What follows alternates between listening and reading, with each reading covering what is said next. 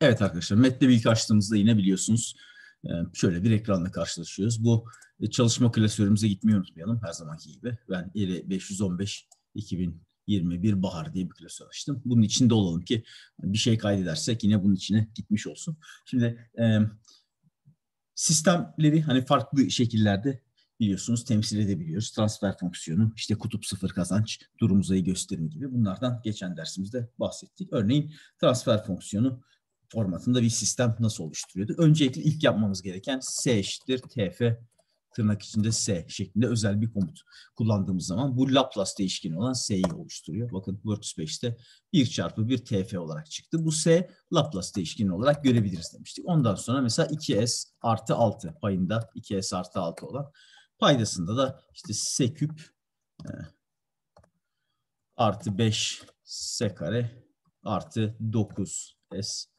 artı 5 olan bir transfer fonksiyonu oluşturmak istediğim zaman bakın 2s artı 6 s küp artı 5 s kare artı 9s artı 5 şeklinde oluşturabiliyordum. Farklı gösterimler de vardı. Mesela kutupları ve sıfırları çarpanlar halinde görüp e, reel kutupları işte birinci dereceden kompleks eşlenik kutupları ikinci dereceden terimler olarak gösteren bir formatımız vardı. Buna e, kutup sıfır kazanç formatı demiştik. Zero pole gain formatı. Onun için de ZPK'yı kullanıyorduk. Yani direkt olarak kutup sıfır e, ve kazancı vererek yapabileceğimiz gibi ZPK G dersem yani hala hazırda olan bir sistemi bu ZPK formatına çevirmek için bu şekilde kullanabilirim. Bunu yaptığımda bakın payı paydayı çarpanlarına ayırıyor özel bir şekilde. Reel kutuplar böyle birinci dereceden terimler. Kompleks eşlenik kutuplar da bu şekilde ikinci dereceden terimler olarak kendini gösteriyor. Bunlara pol dersem mesela ve zero dersem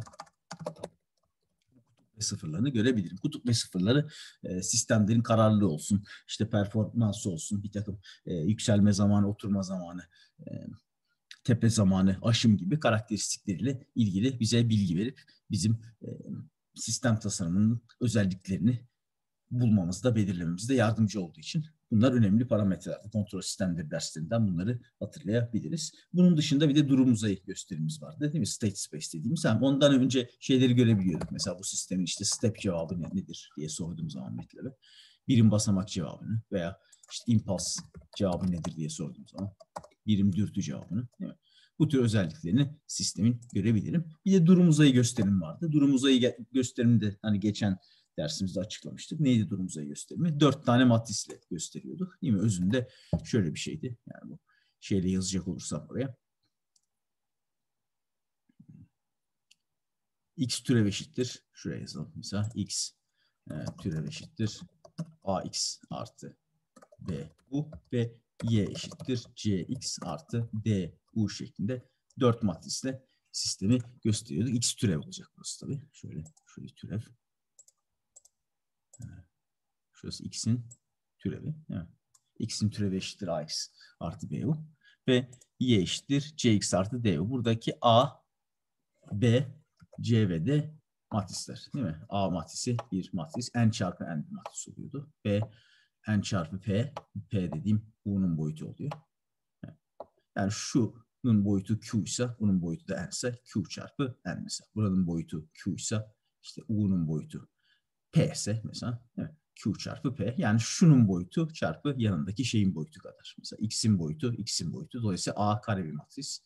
X'in boyutu, U'nun boyutu işte N çarpı P gibi. Böyle bir dört tane matristen oluşan bir gösterim. Bunu nasıl çıkaracağımızı, ne şekilde e, sistem denklemlerinden bunu elde edeceğimizi göstermiştik. Geçen dersimizde bunun üzerinde durmuştuk. E, bu dersimizde de bu gösterimler arasında işte bazı geçişler falan nasıl yapılır biraz ekstra belki onlardan bahsedebiliriz diye düşünüyorum ama bu şeyin e, durum uzayı gösteriminde bir sistemi nasıl oluşturuyorduk? Bu A matrisi diyelim ki 2'ye 2 bir matris olsun. A matrisi her zaman kare matris değil mi? 0, 1 mesela eksi 5, eksi 2 olsun diyelim ki A matrisimiz. B matrisimiz diyelim ki 0'a mesela 3 olsun. Böyle bir sütun matrisi yapmış oldum bunu. C matrisimiz. Dolayısıyla nasıl bir sistem yapmış oldum burada? Diyelim ki A2 olduğuna göre iki durumlu bir giriş olmuş oldu. Değil mi? 2'ye 1 olduğuna göre şu ikinci parametresi bir giriş olmuş oldu. Onu da belki buraya yazabiliriz şey olması için. Bize yardımcı olması için. E, diyelim ki şuraya yazalım. Mesela diyelim mesela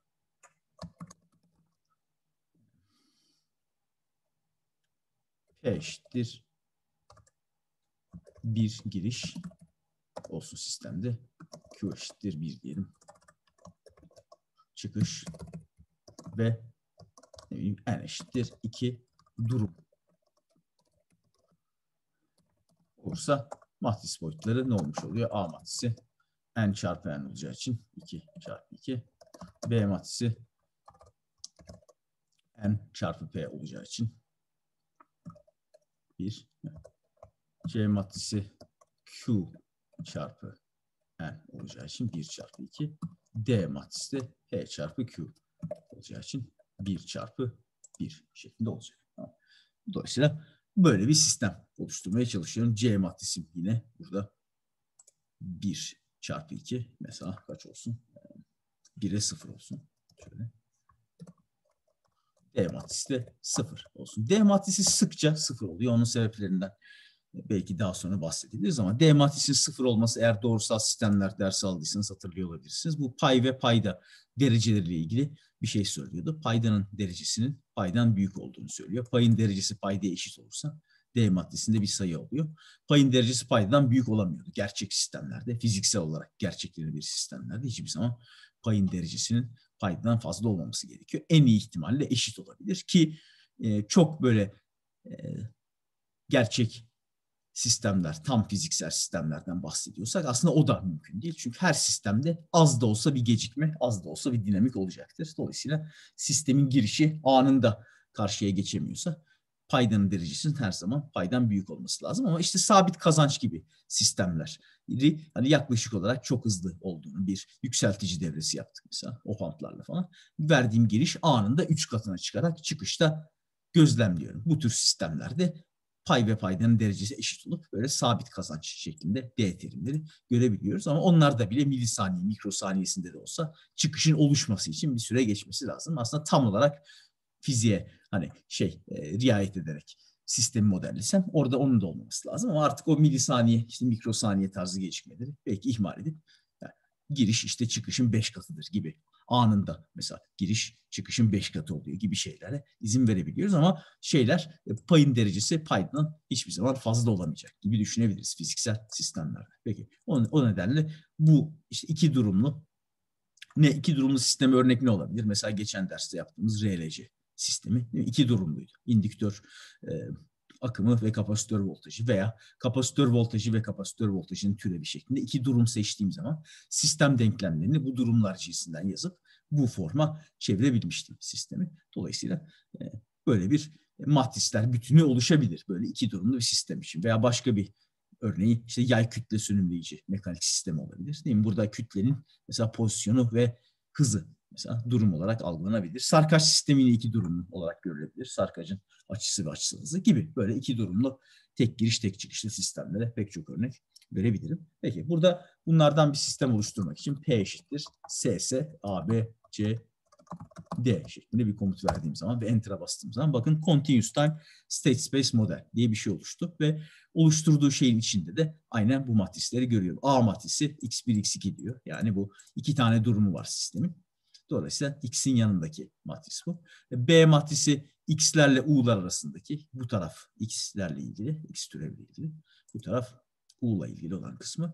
C, Y, X1, X2 diyor. Yani şunlar etiket gibi düşünebilirsiniz. Bu ilk şuraya yazdıkları satır ve sütunların etiketi ismi gibi. Esas matris şurası. Evet, matris şurası. Bu satır ve sütunların isimleri gibi düşünebilirim. Y1 satırı, X1 sütunu, X2 sütunu gibi. Yani matris şurası benim girdiğim. Yine Y1 satırı yani şu taraf çıkışla ilgili. Burası da burası da girişle ilgili sıfır olan bir matris. Böyle bize yardımcı olmak için hangi matrisin neyle ilgili olduğunu MATLAB bu şekilde bir formatta veriyor. Bu nokta notasyonuyla matrisler oluşabilirim. P'nin C'si, P'nin D'si şeklinde. SS data ile hepsini birden alabiliriz demiştik. Onu tekrar yazmayayım artık. Ee, başka neler yapabiliriz? Ee, bunu çizdirebilir miyiz? Step cevabını bu sistemin P. Değil? Veya impas cevabını çizdirebilirim. İmpas. Dürtü cevaplarını yine bu sistemin cevaplarını çizdirebilirim.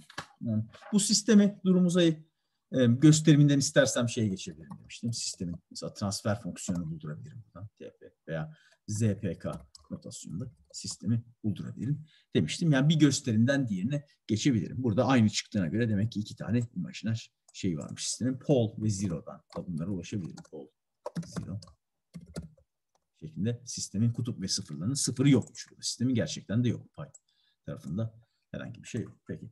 Ee, durum sayı gösteriminin tek olmadığından bahsetmiştik ve bir takım dönüşümlerle hani bir gösterimden diğerine geçebiliriz demiştik. Bundan biraz bahsetmek istiyorum. Yani aynı sistemi temsil eden e, farklı durum uzayı gösterimleri olabilir demiştik. Bunu bir e, RLC devresinde geçen dersimizde mesela biz VC ve VC'nin türevi seçmiştik ama e, ne de olabilir demiştik. Mesela IL ve indüktör akımı ve VC seçerek de hani bu tarz denklemler oluşturabileceğimizden bahsetmiştik. E, peki bir gösterimden diğerine nasıl geçeriz? Ondan hani biraz bu derste bahsederiz demiştik. Yani şu kastettiğim şey şu aslında bir dönüşüm kullandığım zaman diyelim ki bir T diye bir dönüşüm maddesi kullanacağım. Aslında onu biraz açıklasam belki iyi olabilir. Yani şöyle bir durum uzayı gösterimim var mesela bir sistemle ilgili. Aynı sistemle ilgili başka bir durum uzayı gösterimi yazarsam mesela bir durum uzayı gösteriminden diğerine nasıl geçebilirim? Biraz bundan bahsetmek istiyorum. Şöyle yapacağım o zaman. Şurayı paylaşayım yine. Şuradan şu tarafa geçelim.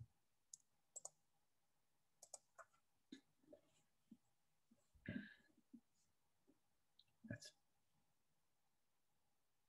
Şu ekranımı yansıtıyorum.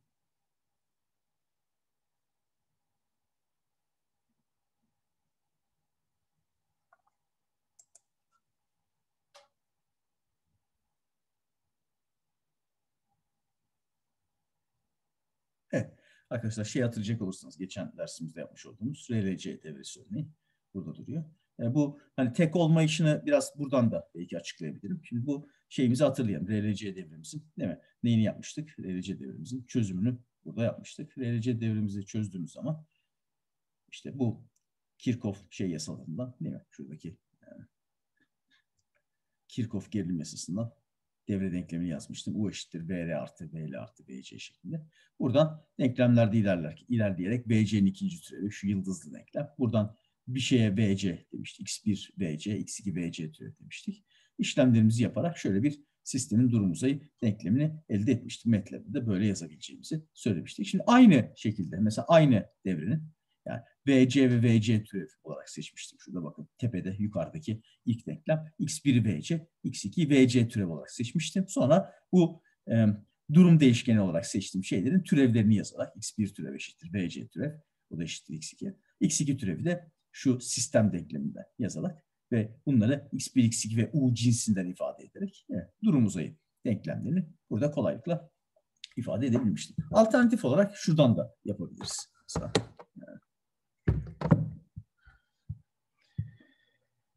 Alternatif olarak diyelim. Alternatif olarak.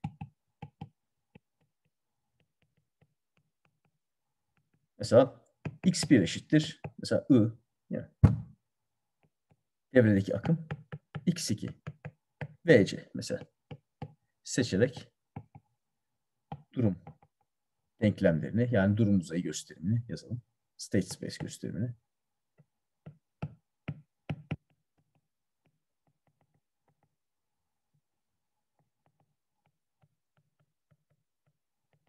Mesela burada yine devremizi hatırlamak için çizecek olursak U'muz var. R var.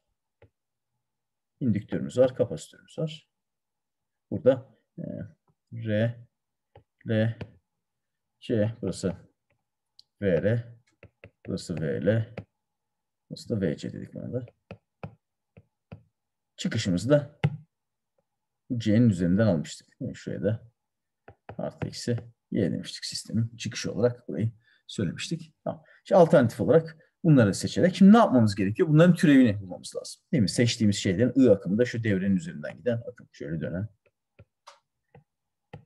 akım. Dolayısıyla X1 türevi yazmak için yani I'nın türevini nereden elde edebilirim? Şimdi I'nın türevi indüktörden geliyor değil mi? Ve e, L eşittir indüktörün voltajı eşittir L çarpı I'nın türevi gibi bir denklemden geliyor. E, VC türev de kapasitör denklemlerinden geliyor. Yani I eşittir. IC ama I hep aynı devrede. C çarpı VC'nin türevinden geliyor. Böyle iki denklemimiz var. Şimdi bu ikinci denklem güzel aslında. Çünkü burada istediğimiz ilişkilerden bir tanesi var. VC türev değil mi? X2'nin türevi. Bu I dediğim şey de X1. C de zaten bir sabit sayı. Dolayısıyla buradan bir denklem elde edebilirim. X2 türev eşittir. 1 bölü C çarpı X1 şeklinde. Bu yani denklemlerinden bir tanesi benim. Burada yani bir tanesi durumlardan birinin türevini diğeri cinsinden elde ettim. Diğer durum için bununla biraz uğraşmam gerekebilir. Çünkü burada VL var değil mi? I'nın türevi dediğim şey. Yani X1 tamam şunun türevini elde ettim ama yani burada VL var. VL durumlardan bir tanesi değil. AX artı BU yani şu formda elde etmek için sistemi bunu durumlar ve U cinsinden yazmam gerekiyor. Değil mi? Türevleri durumlar ve U cinsinden yani şuradaki VL'yi elimine edip bunu ne cinsinden yazmam lazım? X1, X2 yani I, VC ve bunu U cinsinden yazmam gerekiyor. Bunu bu formda yazmalıyım ki şu yukarıdaki gibi şu forma getirebileyim. Peki burada o zaman VL'yi nasıl yazabilirim? Şeyler cinsinden VL yerine şey koyalım. U eksi VR eksi VC koyalım burada. Yani VR eşit dediğim şey U giriş eksi VR eksi VC koymayı deneyelim bakalım. R dediğimiz şey I çarpı R veya R çarpı I şeklinde. Bu tamam çünkü I cinsinden yazmış oldum bunu. VC dediğim şey de e, şimdi VC'yi ne yapacağım? Yani integral I'nın türevi olarak yazabilirim. Yani oradan bir integral alabilirim. Veya hani buradan şey yapabilirim. Başka bir şekilde C çarpı VC. Ha, yok VC ile ilgili yapacağım bir şey yok. Özür dilerim. VC zaten yazılmış durumda. Tamam. VC durumlardan bir tanesi. Değil mi? O zaman VC'de de bir sorun yok. VC'de kalabilir. Çünkü ne cinsinden yazmaya çalışıyorum bunu? Sistemi. Yine kalem yazmaya başladı. Pardon arkadaşlar. Heh. VC'de tamam değil mi? Çünkü bu I dediğim şey aslında X1. VC dediğim şey X2. U dediğim şey de zaten U. Dolayısıyla bu tamam. Şimdi bunu biraz düzenleyelim o zaman. Ee, U eksi R çarpı X1 eksi X2 eşittir L çarpı X2 değil X1'di. X1'in türevi. Yani elde ettiğim denklem bu. U çarpı R çarpı X1 eksi X2 eşittir X1'in türevi. Buradan da X1 türevi çekecek olursam X1 türev eşittir. Sırasıyla yazmaya çalışayım. Önce X1'li terimi yazmaya çalışalım. Eksi R bölü L X1 eksi 1 bölü L X2 artı 1 bölü L çarpı U şeklinde. Bu da benim ikinci denklem. Peki bir de çıkış denklemini yazmam lazım. Çıkışı yazmam lazım. Çıkış y eşittir vc yani y eşittir x2 demiştim. Değil mi vc? Dolayısıyla bu da tamam. Çıkış denklemi o halde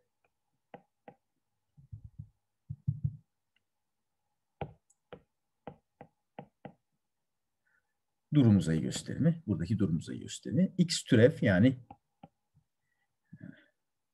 ne dedim sırasıyla bunlara? I, V, C demiştim sırasına. I, türev ve V, C türev eşittir. 2'ye 2 bir matris olacak burada. Çünkü iki durum var. I, V, C artı burası 2, 1 gidiş olduğuna göre burası 1 olacak. U, böyle yazıyorum bunları. Y eşittir. Y dediğim şey de aslında VC. Onu da neyse direkt V yazayım be. Y eşittir. Y eşittir. 1 burası. Bir tane Y var. iki tane durum olacak burada. Artı 1 çıkış, 1 giriş olduğuna göre bunlar böyle olacak. Matrislerin içine doldurabiliriz. Matrislerin içine ne dolduralım? Şimdi I türev şu denkleme bakacak olursak yani şu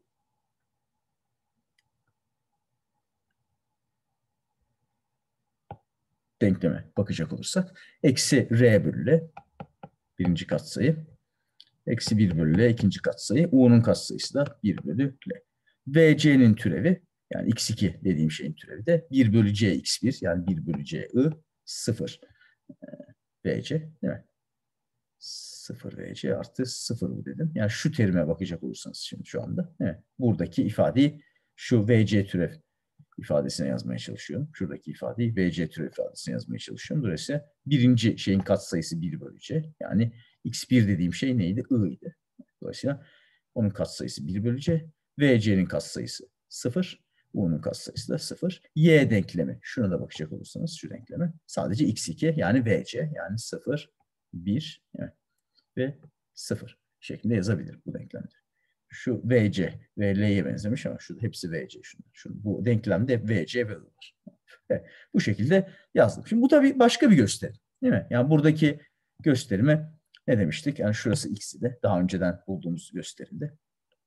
Yani şuna x demiştim. Peki, evet. Şurası x matris, x türev. Dolayısıyla bu geçen derste bulduğumuz gösterim. Evet. Bu y eşittir. Bu da c x artı d bu şeklinde. Yani şu gösterimi geçen derste bulduğumuz gösterime x türev eşittir. ax artı bu y eşittir. cx artı du formunda bir gösterimde.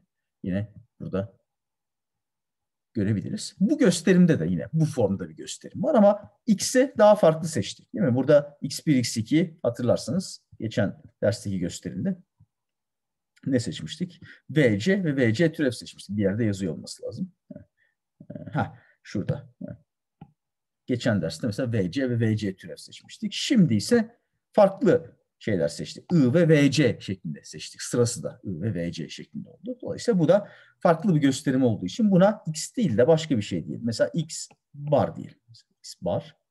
Bu matris A bar çünkü bulduğumuz A matrisiyle aynı değil. Değil mi? Daha önceden 0, 1 ile başlıyordu matris. Eksi 1 bölü LC ile devam ediyordu. Burada R, R ile başlamış. Yani tamamen farklı bir matris. Ama aynı sistemden çıkardık bunları. Değil mi? Burası yine U. Çünkü sistemin girişi değişmiyor. Buraya U bar demeyeceğim. Y çıkışı da aynı. Fakat burası farklı bir matris oldu. C matrisi. X bar.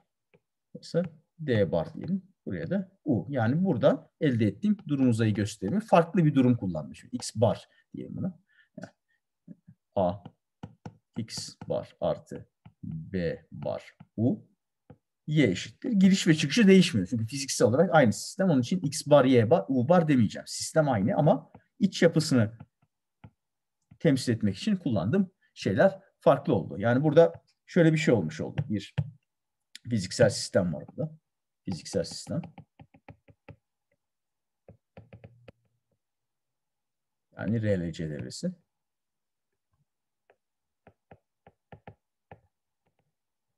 Sistem. Yani R, L, C devresi.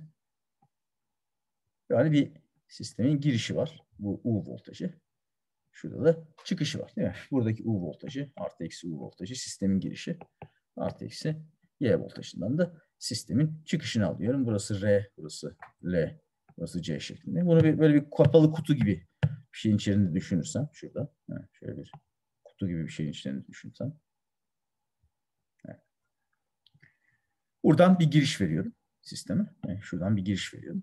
Buradan da bir çıkış alıyorum. Buradan bu dolayısıyla giriş ve çıkış ilişkisi değişmiyor ama benim bu sistemi temsil etmek için şey yaptım. Kullandığım değişkenler değişti. Mesela bir gösterimde, gösterimlerinden bir tanesinde x1, x2'yi VC ve VC'nin türevi seçtim. Mesela VC ve VC türev seçerek bu sistemi temsil ettim. Mesela bir gösterimde.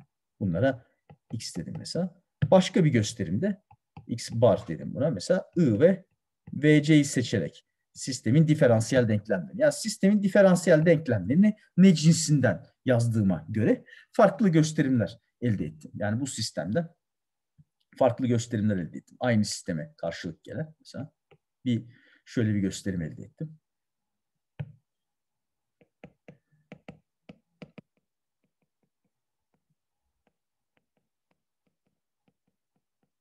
Ve aynı sisteme karşılık gelen bir de şöyle bir gösterim elde ettim. X var eşittir. A X artı B U Y eşittir. C X artı D U şeklinde. Aynı fiziksel sisteme karşılık gelen iki farklı gösterim elde ettim. Şimdi bunlar aynı fiziksel sisteme karşılık geldiğine göre aralarında bir bağlantı bulunması gerekiyor. Değil mi? Çünkü aynı sistemden çıkardım. Yani bir şekilde bir şekilde bu sistemden bu sisteme, bu sistemden de bu sisteme geçebilmem gerekir mantıksal olarak. Çünkü aynı sistemden geldiler. Aynı fiziksel sistemden geldiler. Dolayısıyla aralarında yani bunların tamamen rastgele iki sistem değil. Dolayısıyla bu A, B, C, D matrislerinin yani ve A üssü, B üssü, C üssü, D üssü matrislerinin rastgele matrisler değil bir şekilde birbiriyle bağlantılı olması gerekiyor. İşte bu bağlantıyı da bir T matrisiyle sağlıyoruz. Yani bu üstteki sistemden alttaki sisteme geçmek için bir T matrisi. Dolayısıyla bu T matrisinin tersini kullanarak da alttaki sistemden üstteki sisteme geçiş yapabiliyoruz. Böyle bir T matrisinin olacağı yani aynı fiziksel sisteme karşılık gelen iki durum uzayı gösterimi varsa aralarında bir T matrisiyle geçiş yapabileceğini ispatlamak mümkün. Bunun tersi de geçerli. Bir T matrisi aldım ve bir sistemden diğerine geçiş yaptığım zaman bunlar fiziksel olarak aynı sisteme denk gelen iki sistem yazmış oluyor. Peki bu geçiş yapmaktan kastım ne? Geçiş de şu şekilde e, oluyor. Buradaki e, A matrisini, A bar matrisini T, A, T'nin tersi şeklinde yazabiliyorum. B üssü matrisini T çarpı B şeklinde yazabiliyorum.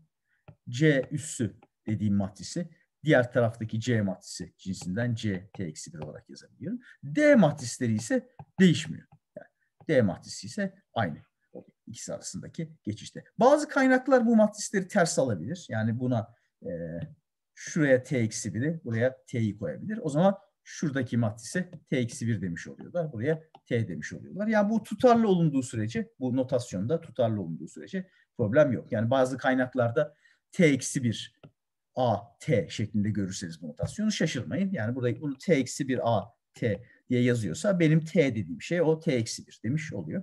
Bazı kaynaklar bunu tersten tercih ediyorlar ama MATLAB yani MATLAB altında olduğumuz için MATLAB'in kullandığı notasyon bu. Önce TA T-1 şeklinde kullanıyor. Dolayısıyla B TB şeklinde oluyor. C matrisi C T-1 D matrisi de D. Yani burada mesela A matrisini biliyorsam buradan A üstünü, B matrisini biliyorsam B üstünü, C'yi biliyorsam C üstünü, D'yi biliyorsam D üstünü bulabiliyorum. Bu T dönüşümüyle.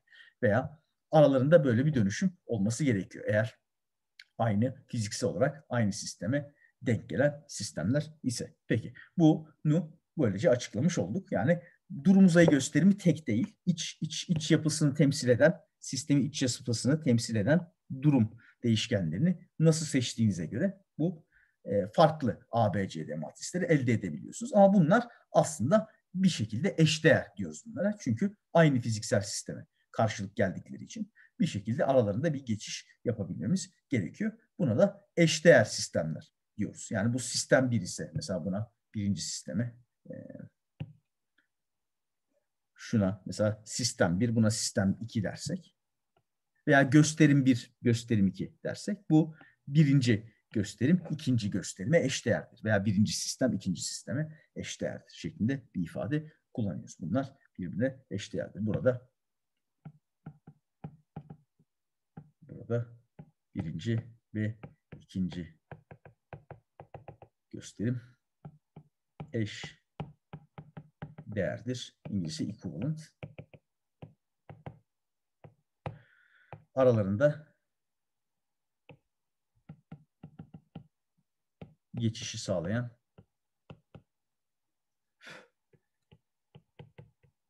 bir eşdeğerlik dönüşümü equivalency transform dönüşüm matrisi T vardır mutlaka. Bunun tersi de geçerli. Yani eşdeğerse aralarında T vardır. Aralarında bir T varsa dönüş sağlayan eşdeğerdir. Bunlar şey iki yönlü olarak şey yapabilirim. Eşdeğer eğer ve sadece T varsa. Geçiş sağlayan, geçiş. Geçiş sağlayan T varsa yani şöyle bir T varsa şunların hepsini sağlayan bir T buldum diyelim ki.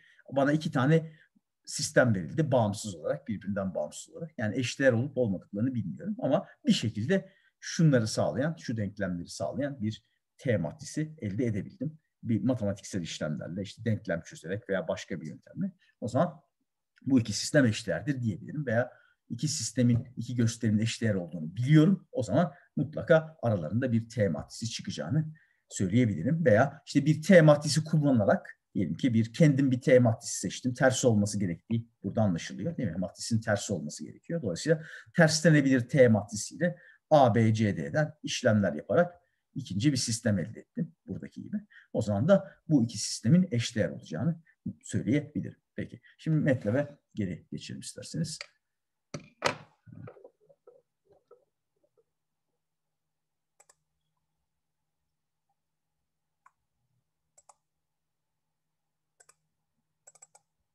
MATLAB'e geri döndük. O zaman burada yaptığımız durum uzayı gösterimdeki sistemimiz P'den mesela bir T dönüşümüyle başka bir sisteme geçelim. T dönüşümümüz kaça kaç olacak? Burada 2'ye 2 olması gerekiyor. Değil mi? Bu şeyin boyutuyla uyması lazım. Sistemin durumlarının boyutuyla uyması lazım. Dönüşümleri de tekrar şuraya yazabilirim unutmamamız için. Dönüşümler diyelim. A ne diyelim buna? A2 diyelim. A bar yerine. Burada bar yapmak zor değil çünkü. T çarpı A çarpı T'nin tersi olacak. B2 diyelim ikinci sistem.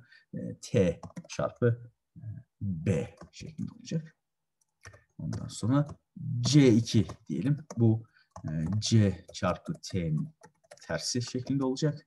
D2 de D, D matrisi aynı olacak. Bu da bunlar da eşdeğerlik dönüşümleri isterseniz şuraya da dursun. Daha sonra unutmamamız için. Yani iki sistem eşdeğerse bu şeyleri arasında böyle bir ilişki olması gerekiyor. Tamam. O zaman T matrisimiz bir e, kare matris olması gerekiyor ve terslenebilir olması lazım. Terslenebilir bir kare matris mesela 1, 2, 2, eksi 1 şeklinde olsun. T'yi böyle seçtim rastgele. E, bunun tersi olacağını inf t dersem mesela tersi var mı veya t üzeri eksi 1 dersem hani tersi olup olmadığını görebilirim. Tersi var burada. Determinantına baktığımda da determinantı sıfır değilse bir kare matrisin tersi olduğunu her zaman biliyoruz. Dolayısıyla determinantı yani sıfırdan farklı bir T matrisi seçerek buradaki dönüşümleri yapalım. Diyelim ki A2 o zaman ne olacak? A2 eşittir.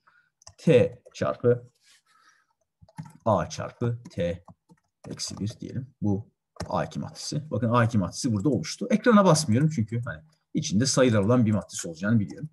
Onun için sonuna noktalı virgül koydum. T çarpı B olacak bu.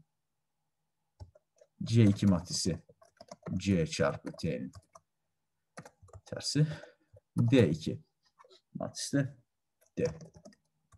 Tamam. buradan da P2 sistemi oluşturalım bunlarla. P2 eşittir state space A2 B2 C2 D2 şeklinde oluşturursam bakın tamamen farklı matrislerden oluşan bir başka bir sistem oluştu. Ama bu bu sisteme eşdeğer olduğunu biliyorum. Çünkü bu şekilde bir gösterimle buna gitmiştir. Mesela eşdeğer olduğu zaman sistemin fiziksel, karakteristik bütün özelliklerin aynı olması lazım. Mesela transfer fonksiyonu bulmuştuk P'nin değil mi? P2'nin de giriş çıkış ilişkisinin aynı olması. Dolayısıyla mesela transfer fonksiyonu aynı olmasını bekliyorum. Mesela transfer fonksiyonları aynı çıktı. Özdeğer şeylerine bakabilirim. Pollarına bakabilirim mesela. Pol P ile pol P2'nin mesela aynı çıkacağını görebilirim. Step cevaplarına bakabilirim. Mesela step P ile mesela başka bir figüre de figür açıp buraya step P2'yi çizdirebilirim. Bunların ikisi aynı. Yani bu şekil 1, bu da şekil 2. Yani iki şeklin yan yana koyarsam gördüğünüz gibi step cevapları aynı. Çünkü yani fiziksel olarak aynı sisteme karşılık geliyorlar. Dolayısıyla giriş çıkış ilişkileri aynı. İmpuls cevaplarını çizdirebilirim. Başka cevapların da karakteristik özelliklerini çizdirebilirim. Ama bunlar özünde aynı fiziksel sistemin farklı şekillerde, farklı koordinatlarda gibi düşünebilirsiniz. Yani mesela bir aracın hareketini e, yerdeki koordinatlara göre tarif etmekte, mesela üzerindeki, kendi üzerindeki koordinatlara göre tarif etmek gibi mesela düşünülebilir. Yani aynı fiziksel sistem farklı koordinatlarda veya farklı e, değişkenler cinsinden yazılmış gibi düşünebilirsiniz. Yani bu ikisi de fiziksel olarak aynı sisteme denk geliyor. Bu yukarıda yaptığım dönüşüm böyle tek tek yazarak yaptım ama bu e, sistemler arasındaki dönüşümler çok sık kullanıldığı için MATLAB altında bunları yapan özel bir komut var. ss to ss komutuyla bunu tek adımda yapabiliriz. Yani burada yaptığım şey e, burada tek tek yazmaktansa şurada yaptığım gibi komutlarla şöyle tek tek yazmaktansa tek bir adımda P2 eşittir. SS to SS, state space to state space, P T diyerek de yazabilirdim. Buna yazıp enter'a bastığım zaman bakın aynı sistem bana verdi. Eksi 3, 2, eksi 3, 4. Yukarıda elde ettiğim sisteme bakarsam P2 sistemine. Nerede P2? Ha, evet. Eksi 3, 2, 3, 4, 2, 6, 1, 2, 6, eksi 3 gibi gidiyor. 3, 2, 3, 4, 2, 6, 1, 2, 6, eksi 3. Yani aynı sonucu şu komutla da elde ettim. Yani böyle tek tek yazarak kendim yapabilirim işlemleri veya hani MATLAB zaten bu eşdeğerlik dönüşümünü nasıl yapacağını biliyor. Tek bir komutta ss to ss ile bu t dönüşümü vererek yapabilirim. Doc ss to ss şeklinde de bunun argümanlarını ne şekilde kullandığını buradan görebilirim. Peki. Ee, dönüşümün tersi de geçerli. Yani P2'den de P'yi ss to ss ile P2'den bu matrisin bu sefer tersini verirsem. Evet. Ters matrisi kullanarak da P2'den P'ye geçiş yapabilirim. Bakın burada orijinal 0, 1, 5 eksi 2, 0, 3, 1, 2, 0. Yani orijinal sistemi P2'den bunun ters dönüşümüyle elde edebilirim. Dolayısıyla dönüşümün tersi de geçerli. Peki e, durum uzayı gösterimden diğer gösterimlere geçebiliriz dedik. E, şimdi bu durum uzayı gösteriminin hani tek olmaması e, bir özellik. Yani sistemde hani farklı şekillerde seçebilerek e, iç yapısını belirten değişkenleri farklı şekilde seçerek burada hani farklı gösterimler elde edebiliyorum. Ama mesela bazı durumlarda da şey istiyorum. Mesela e, sistemi gösteren farklı gösterimler var. A gösterimi verildi bana, B gösterim verildi, C gösterim verildi. Mesela bunlar arasında bunlar eşdeğer mi değil mi? Mesela bunları anlamak istiyorum. Bana diyelim ki P sistemini verdi birisi. P2 sistemini verdi. Bunlar mesela eşdeğer mi dedi. Bunları mesela anlamam isteniyor. Bu iki sistemin eşdeğer olup olmadığını anlamam isteniyor. Şimdi normalde aralarında bir böyle bir geçiş matrisi bulmam lazım. Aralarında bir geçiş matrisi bulmam lazım ama öncelikle bunlar eşdeğer mi değil mi bunu nasıl anlayacağım? Yani eşdeğerse mesela aralarında bir geçiş matrisi vardır. Eşdeğer değilse yoktur. Bunların hızlıca mesela bir bakışta veya e, hızlıca bir şey yaparak diyelim ki. Bu denklemleri çözmek çünkü zor olabilir. Burada t'yi ve t eksi bir yani matris burada t değil mi? Bu mesela dört tane denklem yazıp bu dört denklemden t ve t'nin tersi cinsinden bir matris denklemi çözmeye çalışmak aslında çok kolay değil buradan t'yi çözmek ve t eksi bir çözmek. Yani ben a2, c2, b2, d2 A, B, C, D'yi biliyorsam ve buradan bana T, T'nin tersini çöz mesela bu denklemi nasıl çözeceğim? Burada şey yapmam lazım. Belki değişkenlerine elemanlarına değer verebilirim. A, B, C, şeklinde. İşte matrisin tersini parametrik olarak yazmam gerek ki 2'ye 2 matrislerden daha büyük matrisler için 3'e 3 4'ler. Bunun tersini mesela parametrik olarak yazmak çok kolay değil. E, bu e, bunu yazdığım zaman çok karmaşık denklemler çıkacaktır. Yani bu denklemleri aslında T için çözmek çok kolay değil. Yani yapmam gereken o matematiksel olarak ihtiyacım olan şey aslında iki e, sistem eşdeğerse aralarındaki eşdeğerlik dönüşümü T'yi çözmek için bu denklemleri matris için ve matrisin tersi için çözmem gerekiyor. Ama çok kolay değil bu matematiksel işlemler. Onun için bunun daha kolay, daha pratik bir yolu aranmış ve şöyle bir şey geliştirilmiş. E, kanonik biçimler veya normal biçimler dediğimiz bazı özel durum uzayı gösterimleri var. Bu durum uzayı gösterimleri tek. Yani verilen bir fiziksel sistem için tek bir gösterim. Yani durum uzayı gösterim ama özel bir durum uzayı gösterimi. Yani özel şekilde yazılıyor ve böyle yazınca tek oluyor. Yani dolayısıyla aynı fiziksel sisteme karşılık gelen tek bir kanonik gösterim, tek bir e, normal gösterim olmuş oluyor. Bunları ya- yapmak için de, oluşturmak için de MATLAB altında kanon dediğimiz biçimler var. Bunları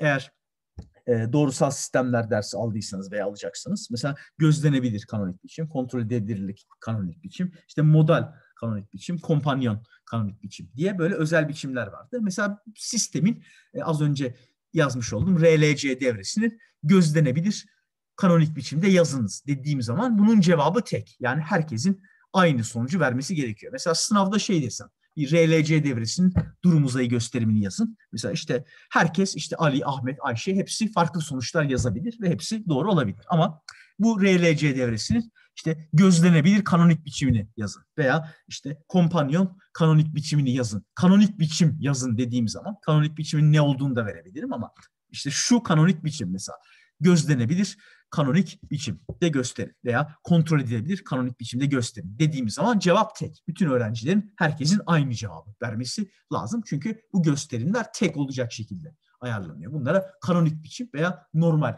biçimler diyoruz. MATLAB altında da doc kanon diyerek bu canonical state space realization'lar. İşte bunlar e, ne şekilde oluşturuluyor, hangi kanonik biçimlere MATLAB getirebiliyor. Bunlarla ilgili detaylı bilgiye sahip olabilirsiniz.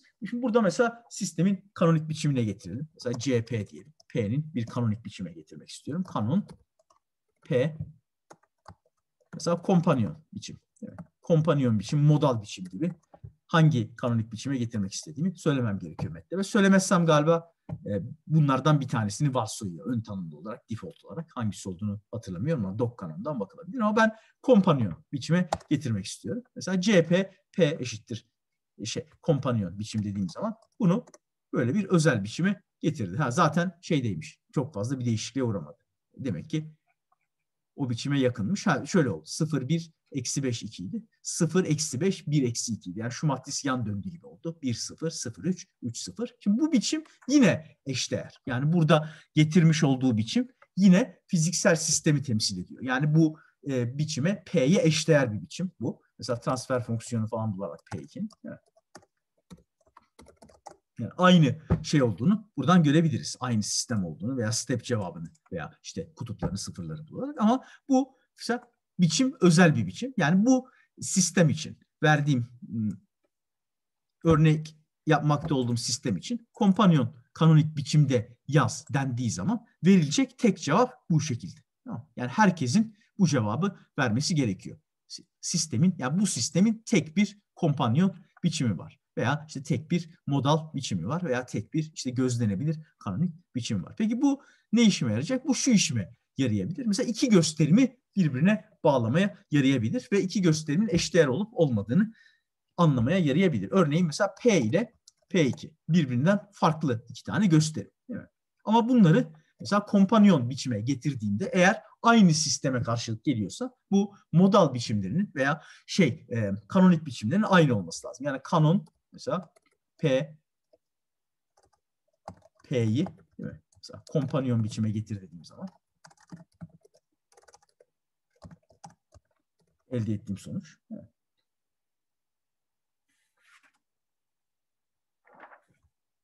Buna CP diyelim.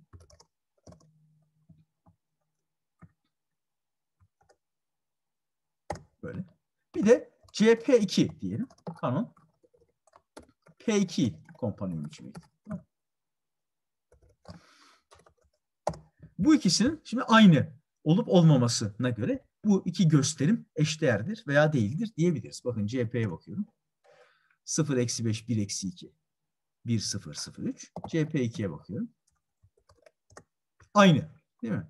Aynı 0 eksi 5 1 eksi 2 0 eksi 5 1 eksi 2 B maddesi aynı. Hepsinin aynı olması lazım. Gösterimler aynı diyebilmek için. 1 0 1 0 0 3 0 3 0 0. Dolayısıyla bunlar aynı olduğu için P ve P2 eşdeğer sistemlerdir diyebilirim. Bunlar birbirine eşdeğerdir. Yani bunların şu anda tabii ben çıkardım. Bunları birbirinden T dönüşümüyle ben çıkardım ama diyelim ki bunu bilmiyorum. Yani bana birisi P'yi verdi, P2'yi verdi rastgele herhangi bir şey de söylemedi. Yani bunlarla ilgili. Bunlar eşdeğer midir diye merak ediyorum. İkisini de bu şekilde kanonik biçime getirerek böyle ve böyle kanonik biçime getirerek ve bunları kıyaslayarak Bunları kıyaslayarak bu ikisi eşdeğer midir, değil midir? Bunları bulabilirim. Eşdeğerseler, eşdeğer olduklarını gördükten sonra da bunları hani birbirine bağlayacak dönüşüm nedir? Bunu bulabilirim. Çünkü neden? Mesela bir şuraya hemen açıklayayım. Annotate alalım. Mesela bir e, P gösterimim var. Diyelim ki şu P gösterim var burada. Evet. Şurada bir P gösterim var. Bu P gösteriminden diyelim ki T ile kanonik biçime geçtim. Değil mi? Burada ne diyeyim buna? CP'ye geçtim. Peki. Bir de P2 diye bir sistem vardı mesela burada. P2 diye bir sistem vardı. P2'den de aynı kanonik biçimi. Diyelim ki T2 dönüşümü geçtim.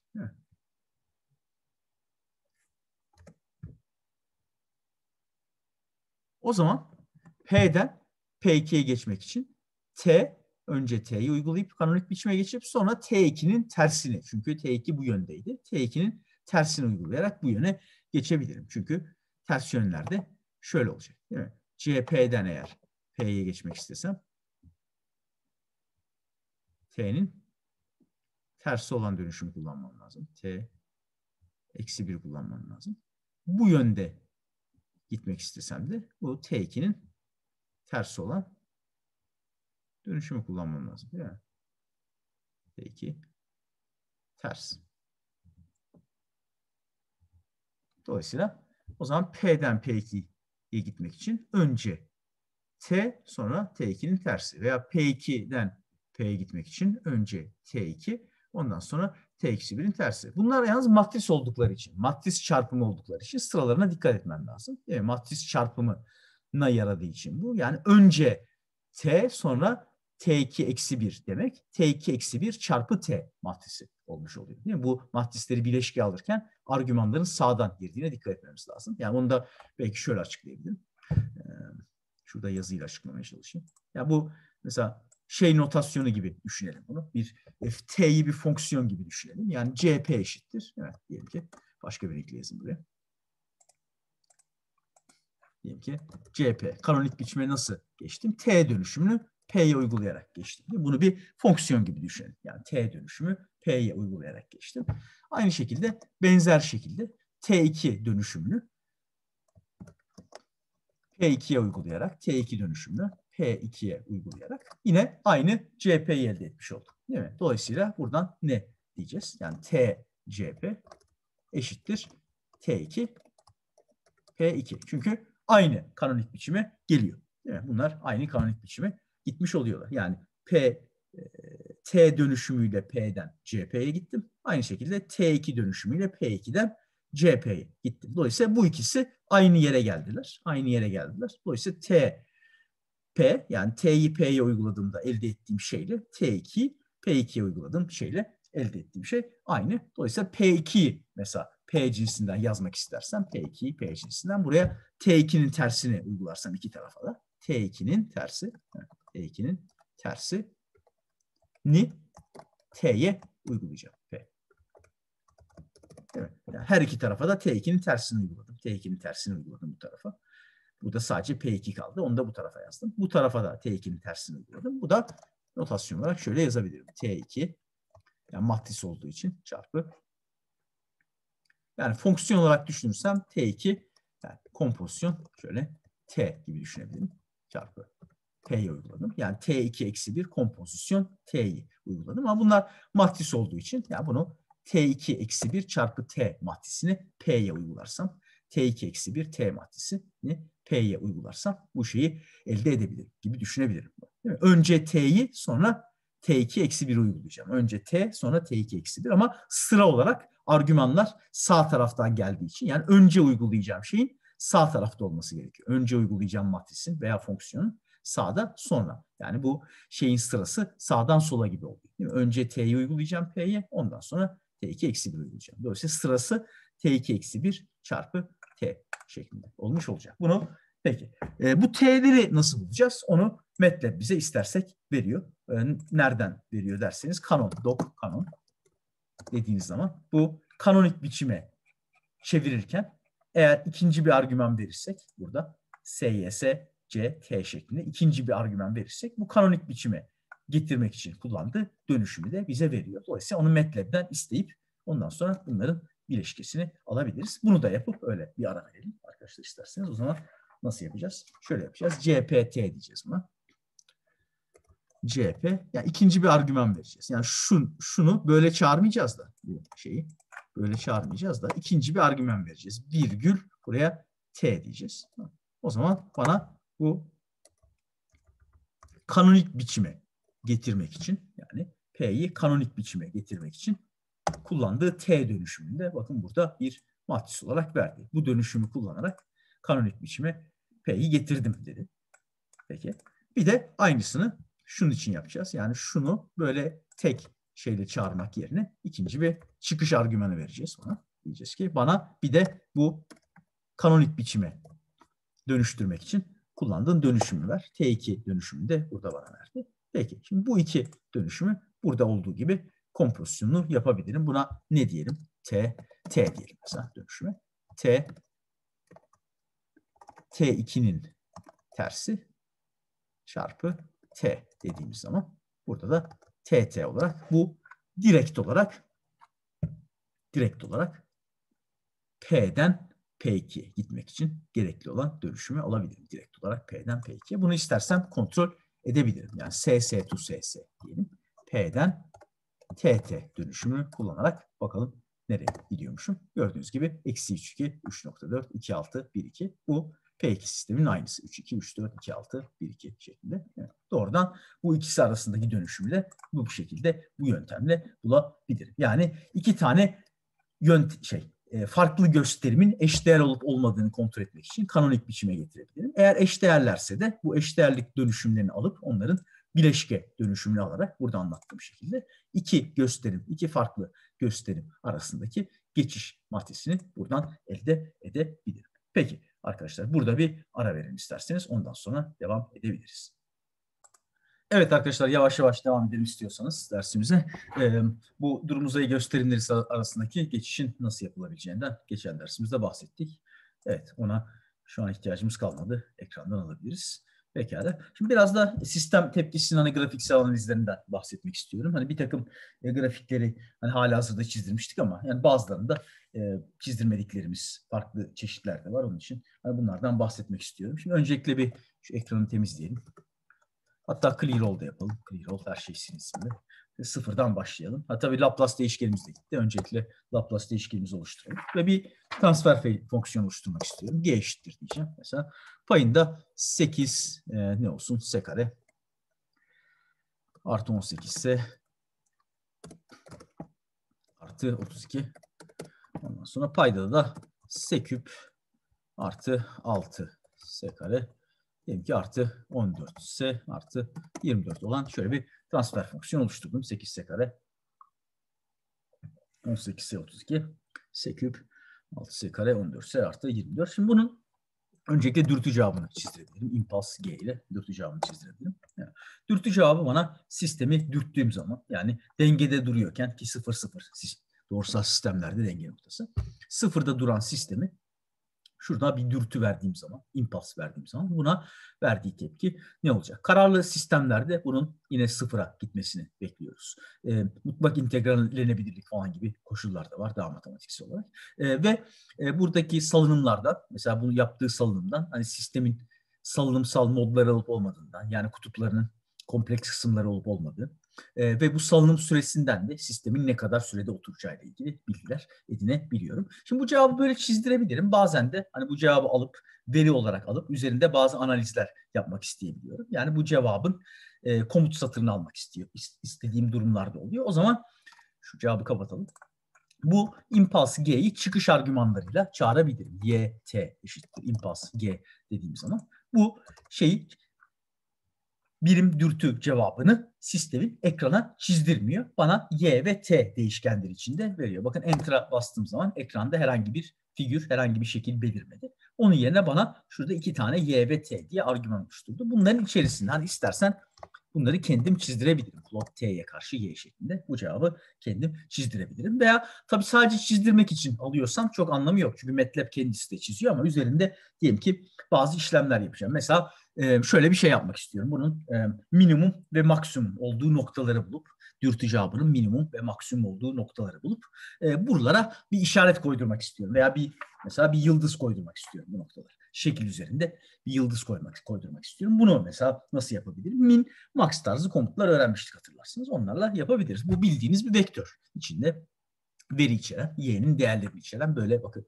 y deyip enter'a basarsınız böyle bildiğiniz böyle bir sütun vektörü içinde y'nin değerleri var. Dolayısıyla bunun minimumunu buldurabilirim. Min y dersen bunun minimumunu buldurabilirim minimum değerini. Tabii minimumun nerede olduğunu da bulmak istiyorum. Onun için iki argümanla çağırabilirim minimumu. Yani bunu görmüştük şeyde. Mesela ne diyelim? Y'nin minimumu ve e, int min diyelim mesela. Minimumun hangi noktada oluştuğunu bu şekilde alabilirim. Bakın y'nin minimumu 0.6813'müş. Int min de bunun hangi indiste yani bu vektörün hangi noktasında oluştuğu, hangi elemanı olduğu 45. Yani y 45 dediğimiz eleman. Bu bana bu minimum veriyormuş. Y'nin 45. elemanı gerçekten de bu minimummuş. Bu indisi alıyorum çünkü zaman olarak da onu almam gerekecek. Yani hangi zamanda minimum olduğunu bu t'nin değil mi?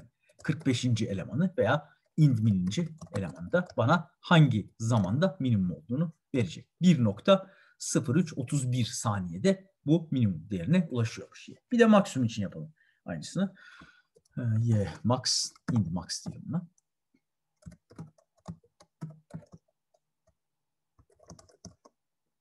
Maxi'ye dersem bunları bulmuş olurum. Evet, maksimum 8'miş ve 1. Ha, birinci daha başlangıç noktasındaki değermiş maksimum. Tamam. Buradaki zaman da alalım. T max eşittir. T'nin int max'mış. Peki. Sıfır tabii ki. Peki. Ee, ya sıfır anında maksimum çünkü yani dürtünün etkisiyle büyük bir değere bak zıplayıp oradan sallanarak yani bir daha o aynı değeri almıyor. Tamam. Bu maksimum değeri de buradaymış. O zaman T max ve e, Y max T min ve Y mini bu grafiğin üzerine çizdirerek bu maksimum ve minimum noktalarını işaretlenmesini sağlayabilirim. Onu da şöyle yapacağım. E, plot diyeceğim öncelikle. T'ye karşılık Y. Yine line with 2 yapabilirim. Kalın görünmesi için. Line with 2 yapabilirim. Böyle çizdirdim. Şimdi bunu hold on diyeceğim grafiğimi tutmak için. Ve grafiğimin üzerine plot t mine karşılık y min noktasını t max'a karşılıkta y max noktasını çizdireceğim. Tabii bunları çizgi çizdirmek istemiyorum arada çünkü tek nokta oldukları için bunu mesela kırmızıyla ve sadece işaret koyarak çizdireceğim. Yani böyle e, nokta nokta veya çizgi çizgi değil. Zaten bunlar tek nokta. E, hatta şöyle yapalım. Bir tanesini kırmızı çizdirelim. Mesela minimumu mavi çizdirelim. Blue. Ama zaten şeyin rengi blue değil mi? Green olsun. Green böyle. Maksimuma da e, şey koyalım. Kırmızı bir yuvarlak koyalım mesela. Böyle. Minimuma yeşil bir yıldız koydum. Mesela minimum noktaya. Maksimum noktaya da kırmızı bir yuvarlak koydum. Mesela. Yine line 2 olsun.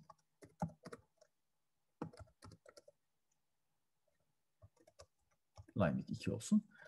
Başka bir parametre daha verebilirim. Burayı mesela işaretleyeceğim için buraya çarpı ve sıfırla. Yine bu plot parametrelerinden marker size diye bir parametre var. Bu işaretlediği şeylerin boyutlarını belirten. O marker size'da biraz büyük yapayım. 10 falan yapayım ki bu koyduğu işaret net bir şekilde görebileyim. Peki.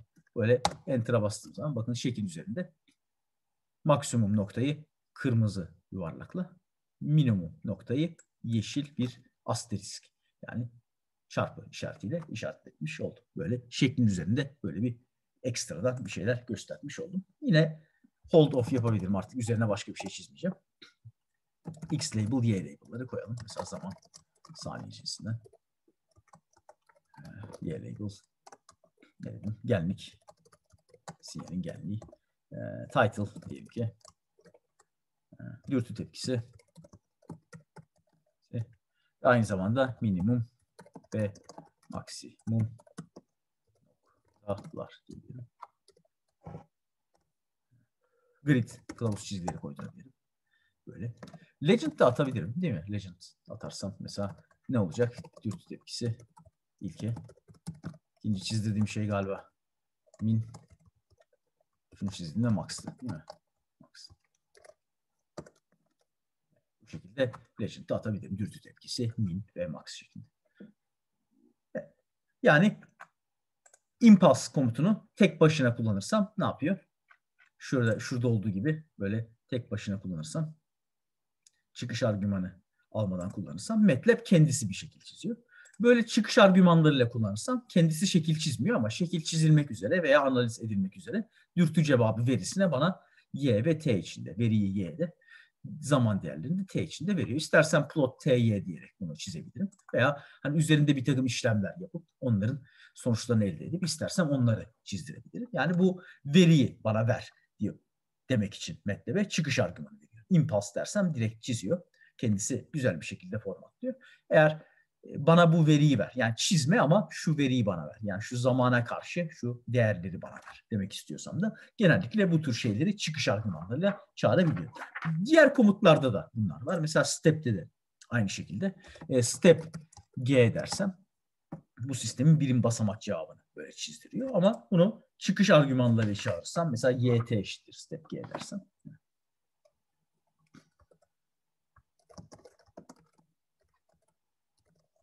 sefer ekrana herhangi bir şey çizdirmedi. Gördüğünüz gibi ekranda herhangi bir şey yok.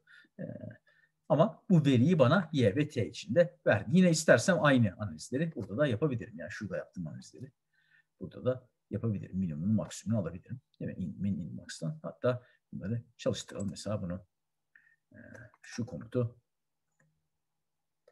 aynen çalıştırabilirim. Hmm, evaluate selection diyelim. Minimum aldım. E, evaluate selection Evaluate selection. Evaluate selection. Ondan sonra şurayı da çizdirebilirim. Yani. Evaluate selection. Mesela yine ha, min ve max'ları da yine şuradan verebilirim. Burada mesela dürtü değil de bu basamak tepkisi. Evet, aynı komutları çağırarak mesela birim basamak için min ve max noktaları böyle çizdirebilirim. Peki. E, başka neler var? E, sistemin şimdi sadece hani e, dürtü ve basamak değil genel bir fonksiyon. Mesela bir sinüzoidal fonksiyona verdiği cevabı da merak ediyor olabilir. Bu tür şeyler için de lins şey e, LSIM komutum var. Linear Simulation komutu. LSIM diye. Yine doc e, LSIM ile detaylıca şeylerine bakabilirsiniz.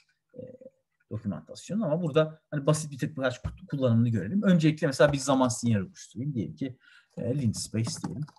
Sıfırdan 5'e kadar 1000 elemanlı bir zaman vektörü oluşturdum. Sıfırdan 5'e kadar yani bir eşit parçaya böldüm. Bir zaman vektörü oluşturdum. Ondan sonra diyelim ki rampa cevabı. Rampa sinyali nedir? U eşittir T. Değil mi? Bu şekilde bir yani rampa dediğim şöyle lineer olarak artan eğimi de 1 olsun. Dolayısıyla U eşittir T şeklinde bir sinyal oluşturdum. Yani böyle lineer olarak artan Y eşittir T veya U eşittir T şeklinde bir sinyali bu sisteme verdiğim zaman sonuç nedir? Bunu merak ediyorsam L'sim komutunu kullanabilirim. L'sim G sistemine U sinyalini T zamanı boyunca ver ve cevabı çizdir dersem bakın burada bir grafik çizdi. Bu silik olarak çizdiği şey giriş sinyali. Verdiğim giriş sinyali yani U eşittir T sinyali. Bakın eğimi 1 olan yani eğiminin 1 olduğunu şuradan anlayabiliyor. Değil mi? Eğimi 1 olduğu belli çünkü X ve Y değerleri aynı. Dolayısıyla eğimi 1 olan bu sinyali giriş olarak verdiğim zaman bunun çıkışı burada görmüş oldum. Maviyle göstermiş olduğu sinyal oluyor. Yani birim rampa cevabı. Böyle bir rampa sinyali verirsem sisteme, giriş olarak rampa verirsem yani şunu yapmış oldum. Değil mi aslında? Buradan şöyle çizerek de gösterecek olursam. Yani sistemim şöyle. Şöyle bir sisteme.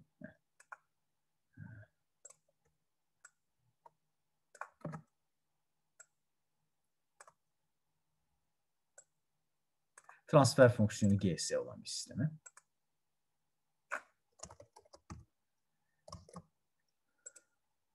Girişten U verirsem çıkıştan ne çıkar? Evet, bu U'dan U yerine T vermiş oldum. Yani şöyle bir şey vermiş oldum o zaman.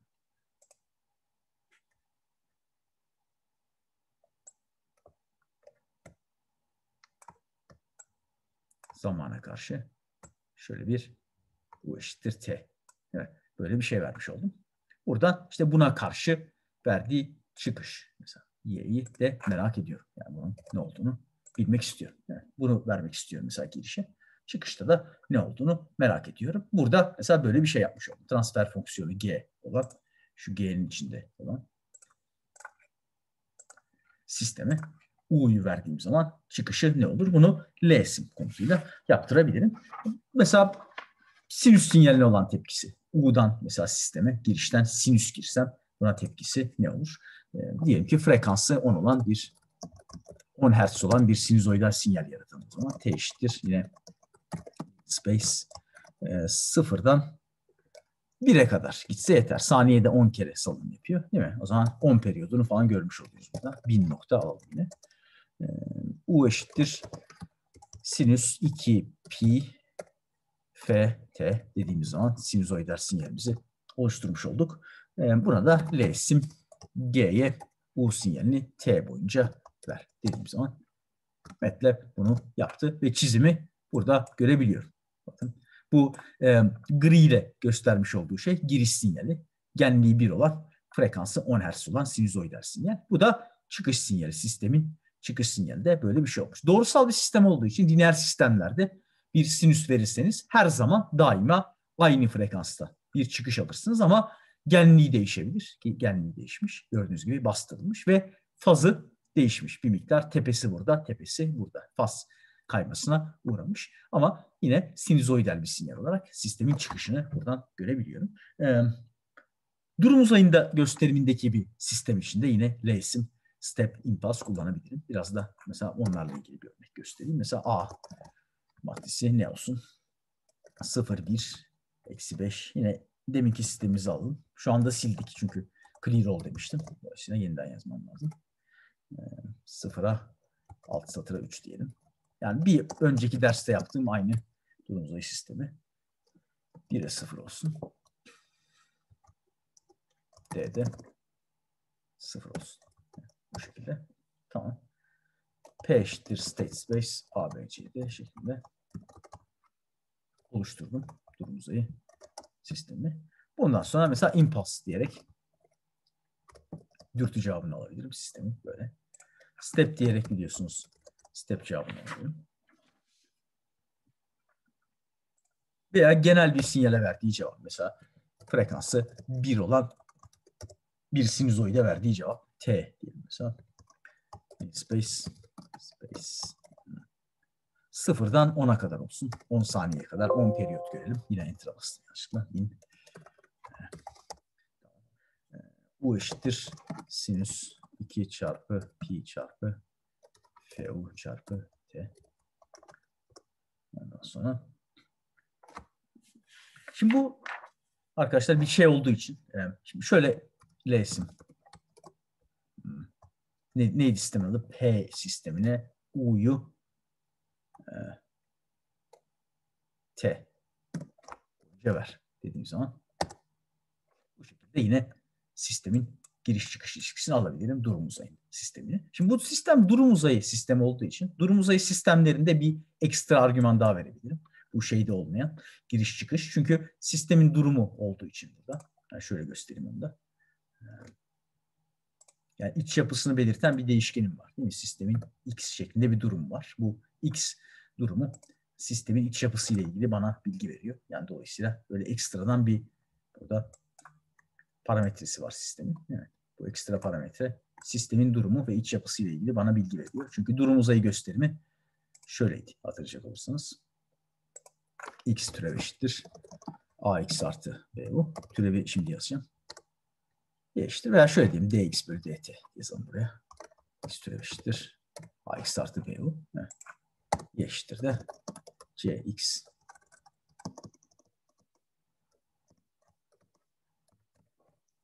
DU formatında olduğu için buna bir ilk koşul da verebilirim. Nereden başlayacağını. Yani x 0 eşittir. Mesela x 0 şeklinde bir ilk koşul da verebilirim. Yani bu diferansiyel denklemler halinde ifade edildiği için x cinsinden durum uzayı gösterimi diferansiyel denklemler olduğu için bu durum uzayı gösteriminde ise sistem buna bir ilk koşul da verebilirim. Yani bu durumların mesela e, kapasitör voltajı indüktör akımı cinsinden yazmıştım RLC devresini. Mesela kapasitör sıfır anda nereden başlasın? İndüktör sıfır anda akımı ne olsun gibi. Veya VC ve VC türevden başlattı şey cinsinden yazdıysam diferansiyel denklemleri. VC sıfır ne olsun? VC türev sıfır ne olsun? Burada da durum uzayı gösterimi yani P dediğim şey var mı? Bunu sildim yanlışlıkla. Şu sadece şu yanlış yazdım. P'yi silmek istiyordum. Bu diferansiyel denklemlerde mesela bizim sistemimiz için x1, x2 var değil mi? İki tane durum değişkeni var. Bunlar mesela nereden başlasın?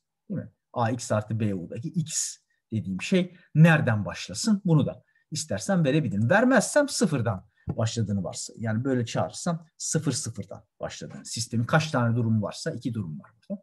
Hepsinin sıfırdan başladığını varsayıyor. Ama istersem de sisteme ilk koşul verebilirim. Mesela x sıfır kaç olsun? Mesela 2'ye e, 1 olsun. Yani birinci x1 2'den başlasın. x2 de 1'den başlasın. Buna L'sim dersem şimdi L'sim G'yi şey, P sistemiydi. Özür U'ya karşı T zamanı boyunca ve X0 ilk koşullarından başlatarak simülasyonunu yap. Bakın bu sefer daha farklı bir sonuç elde ettik. Çünkü ilk yaptığımızda, demin yaptığımızda yani şunu çağırmadığımızda, böyle çağırdığımızda sıfır sıfırdan başlatarak sistemin simülasyonunu yapmıştı. Burada ise ben x0 verdiğim zaman x1'i 2'den x2'yi de 1'den başlatarak yaptığı simülasyonun sonucunda aynı giriş ama verdiği tepki biraz daha farklı oluyor sistemi. Dolayısıyla durum uzayı gösterimlerinde eğer istersem sıfır dışında bir ilk koşul vermem gerekiyorsa bunu verebilirim. Mesela ilk koşul değiştirirsem bu cevap da değişiyor. Atıyorum eksi 1'e 2'den başlatayım mesela sistemi. Eksi 1'e veya eksi 2'den başlatayım.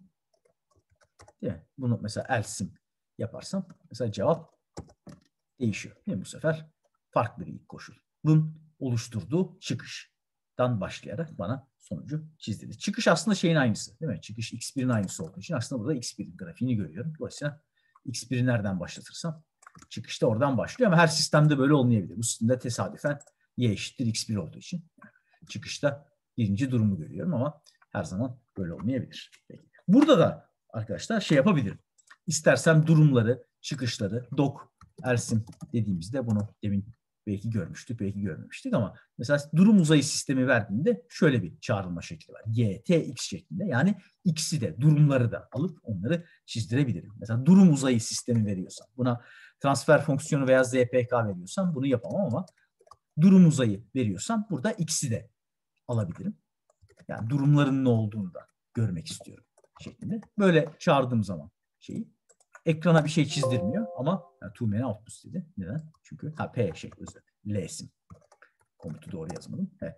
Burada durum uzayı sistemini U, T, X0 parametreli simülasyonunu yap ve çıkışları bana ver dediğim zaman burada çıkışları verdi ve ekrana bakın herhangi bir şey çizdirmedi. Ekranda herhangi bir çizim yok. Ben istersem kendim çizebilirim. Mesela bir subplot vesaire yaparak değil mi? Subplot yapayım mesela.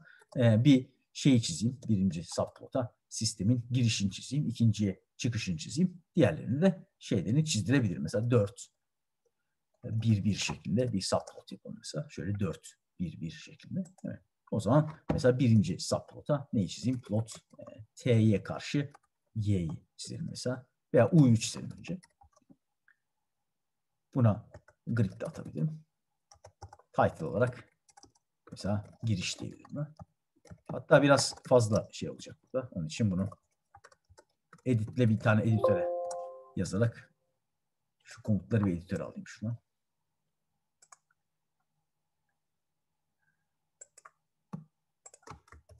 Biraz çizmesi uzun sürecek çünkü onun için title subplot 411 plot tu grid title giriş x label y label verebilirim zaman ise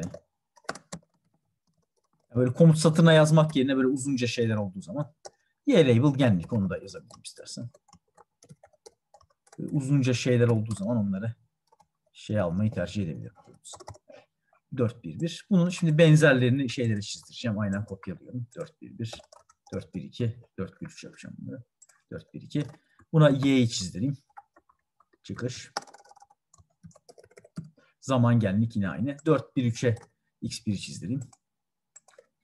Ha, şimdi x'i nasıl veriyor? x1'i nasıl çizdireceğim? x'e bakacak olursam 1000'e 2 şeklinde bir vektör verdi. Dolayısıyla 1000 demek ki zaman. Çünkü zamanın 1000'di. Dolayısıyla birinci şeyde zaman var. İkincisinde hangi x olduğu var. Onu da o zaman şöyle çizmem gerekiyor. x'in hepsi ve birincisi şeklinde. Alabilirim. Bu da x1 olmuş oluyor. Değil? Burada o zaman x1'i çizdirmiş oldum. zaman ve genlik olarak. X2'yi de burada plot X'in tüm satırları ikinci sütun şeklinde. Son subplotuma da bunu yapabilirim. X2 dersem. Evet. Böylece burayı çalıştırdığım zaman bakın subplotlarımı elde ettim. Giriş, çıkış. Yani şu şeyi de alalım bir ekrandan.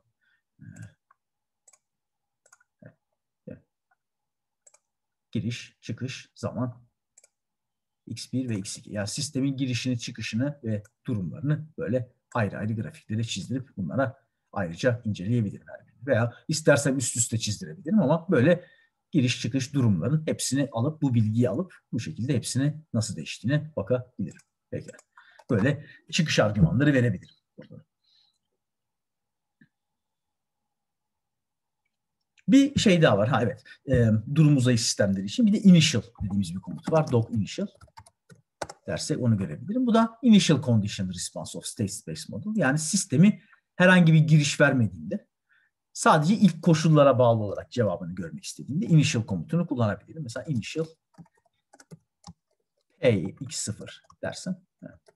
Burada P sisteminin işte x0'daki yani eksi 1 2 ilk koşulundan başlayarak girişsiz olarak yani giriş sıfır olduğundaki cevabı nedir? Bana onu çizdir diyoruz. Burada da initial condition response. Bazen bu faydalı oluyor. Sistemin zorlanmamış cevabı unforced response dediğimiz. Mesela bir RLC devresinde e, indiktör akımı 2 amperden kapasitör voltajı 3 amperden başlattım ve sisteme herhangi dışarıdan giriş vermediğim zaman sistemin buna karşı doğal tepkisi ne olacak? Bu tür şeyleri görmek için initial kullanabilirim. Initial demek aslında yani elsim kullanarak yapabileceğim şeyin bir kısa yolu gibi. Yani P'ye mesela değil mi? T zamanı boyunca belki 0 çarpı T vererek bunun simülasyonunu yap. Yani şunun aslında aynı şeyi yapıyor olması lazım. P sistemine değil mi? T'ye 0 T yani T zamanı boyunca şey vererek cevabı çizdir dersem bu koşullarda. Yani bununla aynı şeyi yapıyor olması lazım ama yapmadı. P'ye T'ye 0 boyunca x0 vererek aynı şeyi yaptım. T neydi burada? Bu. 0 çarpı T dediğimde ne oldu? Evet. Real finite. Ha, T'de mi bir sorunumuz var? Bir dakika ya bunu niye yapmalı? Ersim. Deminki Ersim'de nasıl çağırmıştım? Ee, T'ye. Ha mesela U, T. Ha önce U'yu veriyorduk. Özür dilerim. Tamam. Şurada bir yanlış yaptım. T çarpı U. 0 çarpı T olacak. Bu şekilde. Evet. Mesela bununla bununla şey aynı şey. Initial aynı şey olması lazım. Initial dediğimizde çizdiği şey evet tamamen aynı şey. Yani else'min bir kısaltması gibi bu şeyi e, girişi t boyunca sıfır girişini t boyunca ver demekle şu aynı şey. Bazen hani hızlıca eğer bu bir t vektör oluşturmakla uğraşmak istemezsem initial komutunda kullanabilirim. Initial value response için. Peki. E, bunlar zaman alanında grafiklerde. Frekans alanında da hani bazı çizimler yapabiliriz. Örneğin hmm, sistemimiz duruyor mu? G sistemimiz duruyor. Tamam. Bu G sistemini mesela bode dediğim zaman bunun frekans alanındaki tepkisini görebiliyoruz. Buna grid koyabilirim. Bunu galiba geçen derste bahsetmiştik. Onun için hani burayı biraz hızlıca geçebilirim. İşte böyle genelde frekansı radyan olarak yapmayı tercih ediyorum. Bu da mesela sistemin frekans cevabı. Nasıl filtre devrelerinin frekans cevabını inceliyorsak verilen herhangi bir sistemin frekans cevabında yani transfer fonksiyonu şu olan sistemin transfer fonksiyonu e, şu şekilde olan sistemin frekans cevabında hatta şöyle yapalım bunları yan yana koyalım. Frekans cevabında Bode diyagramda inceleyebilirim. Bode diyagram bana neyi söylüyordu? Belli bir frekansta mesela atıyorum 0.4 Hz'de giriş girdiğim zaman veya 1 Hz'de veya 5 Hz'de giriş girdiğim zaman bunun genliği ne olacak ve aynı şekilde fazı ne kadar bir değişime uğrayacak. Lineer sistemlerde hatırlayacak olursanız girişe belli bir frekansta sinüs verdiğim zaman sürekli hale ulaştığında sistem sürekli hale ulaşıncaya kadar hani değişik şeyler yapabilir ama sürekli hale ulaştığında cevap yine aynı frekansta bir sinüzoid olacak. Yani ben buna 5 Hz'de bir sinüs sinyali girersem bu G sistemine çıkış yine her zaman 5 Hz'de bir sinüs olacak ama genliği değişebilir. Genliğinin ne kadar değişeceği bu e, desibel olarak genlik faktörü tarafından belirleniyor. Fazının ne kadar değişeceği de bu faz olarak, derece olarak bu faz e, bileşeni olarak belirleniyor. Genlikle çarpıyorum. Yani bunun girdiğim sinyalin genliğini bununla çarpıyorum. Tabii bunu mutlak olarak almam lazım desibel olarak değil. Fazı da üzerine ekliyorum. Yani omega t'nin üzerine artı bu fazı eklediğimde bu sistemden geçecek herhangi bir sinüzoidal sinyalin çıkışta akıbetinin geleceğinin ne olacağını belirleyebiliyorum. Bu Bode tepkisini filtre devrelerinde de şey yapmıştık. Yani geçen dersimizde incelemiştik. Yani mesela örnek olarak ne bileyim 3 diyelim ki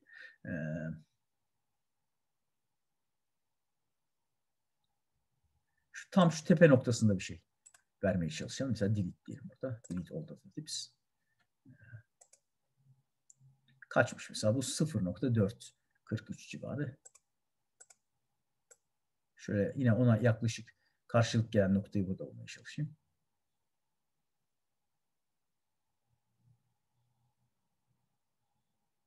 Yani tam tabi oraya gidemiyorum. Ha buldum tam o noktayı. Evet. Mesela 0.431 Hz de bir sinüs verdiğim zaman bu sinyal yükseltiliyormuş. 6.25 desibel kadar yükseltiliyormuş. Mesela dB tumak diyerek de bunun mesela neye karşılık geldiğini. Yani 20 desibel 10 kat kadar 3 desibel şey kadar oluyor değil mi? Kök e, 2 bölü 2 kadar 0.1.4 kadar. Dolayısıyla bu da onların arasında bir şey olması gerekiyor. Tam değerini merak ediyorsanız hani dB tumaktan 2 kat falan sinyal yükseltiliyormuş 0.431'de. Bunun bir deneyini yapalım. Mesela FU eşittir diye ki 0.4 3, 1 Hz'de bir giriş sinyali oluşturalım. Zamanda ne olsun? Sıfırdan 10 periyot görelim yine. Lin space diyelim ki 10 periyot kadar olursa sıfırdan 4 saniye kadar yine yanlışlıkla enter bastım. Değil mi? Bunu 10 periyodu kadar görmek istersem 4 saniye kadar. Ha yok saniyede bu özür dilerim. Saniyede e, 0.4, 0.25 falan. 0, saniyede iki kere falan salınım yapıyor. Dolayısıyla 5 saniye civarı falan bir şey yapmam lazım. 5 saniye civarı. E, saniyede iki kere salınıyorsa evet 5 saniye civarı bir zaman vektörü oluşturalım. U eşittir sinüs 2 pi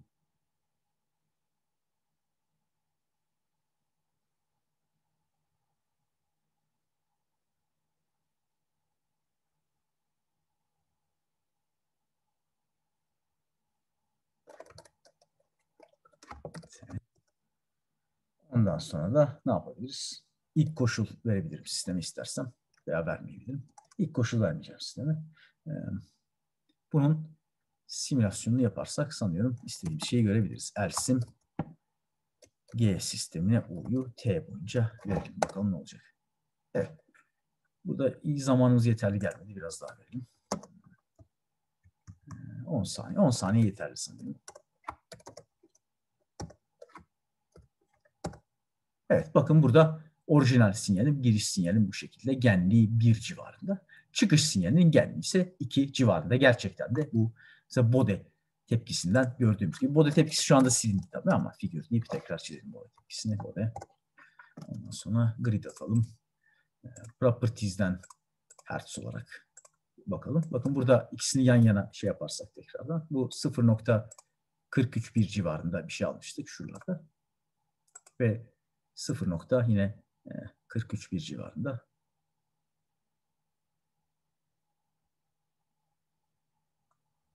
Neyse yaklaşık buralarda. Dolayısıyla belli bir faz kayması var. Faz kayması çok fazla değil. Eksi 19 kadar. Yani bir miktar az bir şey. Şöyle fazı kayıyor. O görülüyor zaten. Şu tepeler birbiriyle uyuşmuyor. Ama esas buradaki 6.25 desibel kadar yani çarpı 2 kadar bir genliğinde değişiklik olacağını ve artı olduğu için desibel bu giren sinyalin yükseltileceğinden bahsediyor burada mesela. Aynı frekansta ama genliği iki katı ve 19 derece kadar da ufak bir faz kaymasına uğramış bir çıkış alıyoruz. Bu da Bode tepkisi. Sinyalin e, veya sistemlerin Bode tepkisini bulmak bu bakımda faydalı oluyor. E, başka mesela root 9 dediğimiz kök eğrisini çizdirebilirim sistemin. Ondan belki biraz daha, daha detaylı bahsederiz. Kök gereğisi şuydu. Sistemin kutupları değil mi? Bir e, geri besleme altında sistemin kutupları sistem kazancı veya açık çevrim kazancı dediğimiz kazanç altında ne şekilde ilerliyor. Böyle sistemin kazancını arttırdığımız zaman bu buradaki kutup, şuradaki kutup yavaş yavaş buradaki sıfıra doğru yakınsıyordu. Değil mi? Kök gerilisinde. Buradaki kutup buradaki sıfıra doğru yakınsıyor. Buradaki kutupta bakın kazanç sıfırdan gittikçe gain parametresinin arttığını ve gain parametresine bağlı olarak da bu sistemin özelliklerinin değiştiğini görüyoruz. Bu mesela bir geri besleme sisteminde sabit kazanç kullanarak sistemin kutuplarını nerelere alabiliriz? Bununla ilgili bize bilgiler veriyordu. Root 9 çizdirebilirim. E, Nyquist çizgisi eğer biliyorsanız, Nyquist plot biliyorsanız yine sistemin kararlılık analizini yapabildiğim Nyquist çizgisini çizdirebilirim. Burada eksi bir noktasının özel bir önemi vardı. Orayı zaten hani belki görebiliyorsunuz. Böyle kırmızı ile hafif işaretledim mesela. Evet, böyle e, şuradan görülebiliyor. Biraz zoom yapamadım ama şu eksi bir noktasını kaç kere çevrelediğine göre sistemin kararlı ile ilgili yorumlarda bulunabiliyorduk. Burada çevrelemediği için yine kararlı olduğunu söyleyebiliriz. Veya e, Nichols chart dediğimiz Bode çizgisine benzer ama e, kazancı böyle faza karşı çizdirerek de bir takım analizler yapılabiliyor. Burada 0-180 noktası önemli. Yani kazancın 0 yani dolayısıyla desibel yani 1 olduğu birim kazanç ve 180 derece faz olan yani sinyalin yönünün değiştiği noktanın özel bir önemi var. Bu noktaya göre o, şu çizginin hareketinden yine kararlılık ve sistemin performansı ile ilgili bir şeyler söylenebiliyor. Böyle herhangi birine dok dersiniz mesela dok mode dediğiniz zaman hani genellikle burada diğerlerine de ulaşabiliyorsunuz. İşte Nichols, Nyquist, Step, Odeplot, Frexp gibi komutlarla bu faydalı olabilecek komutlara ulaşabiliyorsunuz. LTView diye bir grafiksel arayüz var.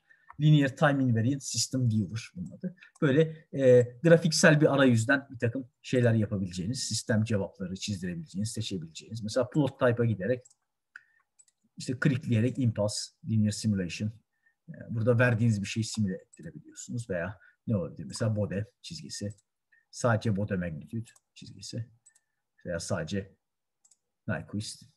Yani az önce çizdirdiğim şeyleri tıklayarak sistemin singular value çizgisi. Tabi bu Bodemeg line olacak. Lineer sistem olduğu için. Ee, lineer sistem olduğu için değil. Tek giriş tek çıkış olduğu için.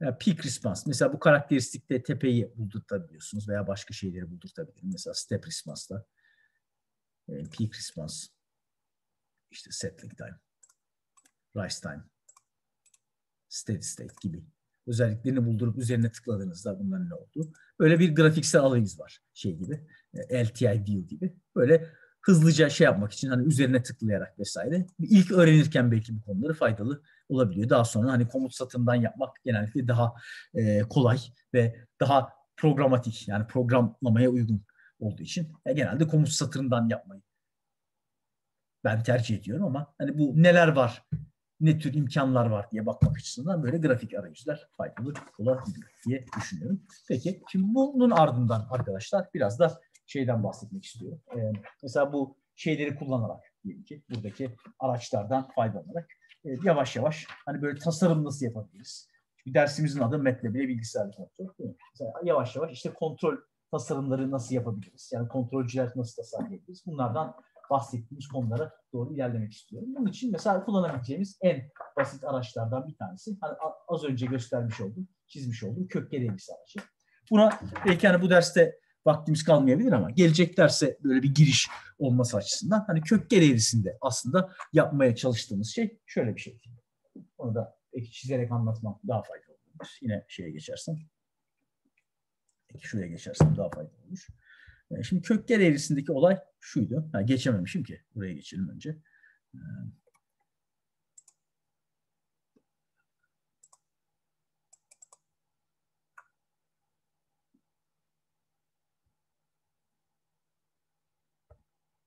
evet, yine buraya dönersek. Şimdi kontrol sistemlerimizin ana yapısı şöyle oluyor. Genelde buradan bir referansımız geliyor. Burada bir kontrolcüm oluyor.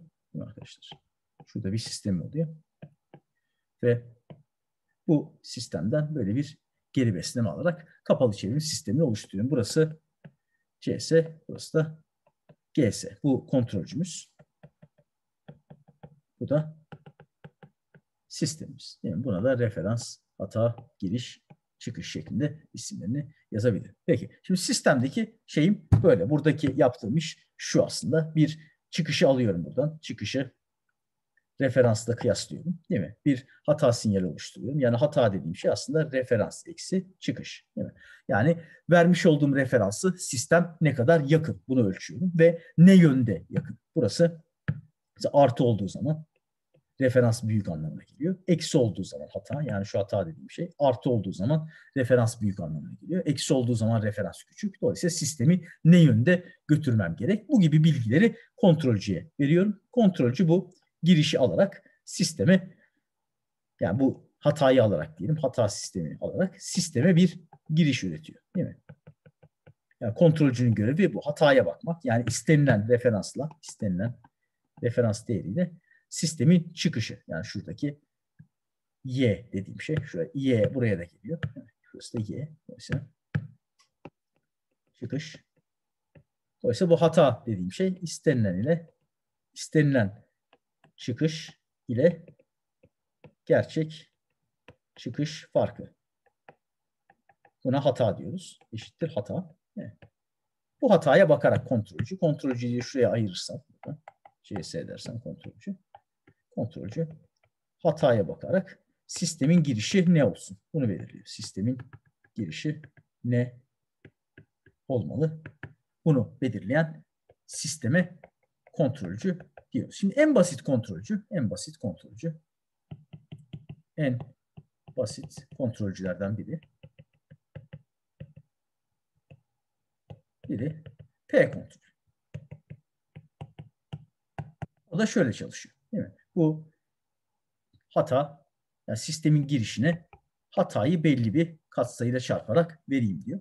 Yani dolayısıyla burada Laplace dönüşümü alacak olursak burası zaman alanındaydı. Yani bu yazdığım şeyler zaman alanında. T, E, T. Dolayısıyla Laplace dönüşümünü alırsam US eşittir. KP çarpı PS. Buradan da bunun yani kontrolcünün çıkışının ki çıkışı sistemin girişine ne vereceğim? Girişte hata ES Laplace alanında. Dolayısıyla Laplace alanında giriş bölü çıkış, çıkış bölü giriş yaparsam yani sistemin çıkışı bölü girişini hesaplayacak olursam transfer fonksiyonu yani CS için transfer fonksiyonu. Yani kontrolcünün transfer fonksiyonu sabit bir sayı olacak şekilde bir tasarım yaparsam yani şuradan kontrolcü sabit bu şekilde K diyelim bunun. KP de demeyelim buraya K diyelim kazancına. Yani P'yi de atmak istiyorum da K notasyonu daha basitleştirmek için. Yani sabit bir K kazancıyla kontrolcü tasarladım diyelim ki. Sistemin transfer fonksiyonu G ise az önce dediğim gibi. Buradan bir geri besleme alarak referans, hata, giriş, çıkış formunda kontrol. Bu da sistem. Evet. Böyle bir şey yaptım. Çevrim oluşturdum. Şimdi buradaki K'ya karşılık görmek istediğim şey o zaman. Bu K değiştikçe. Değil? K değiştikçe Sisteme ne oluyor? Kapalı çevrim sistemine. Yani burada kurmuş olduğum sisteme ne oluyor? Kapalı çevrim sistemi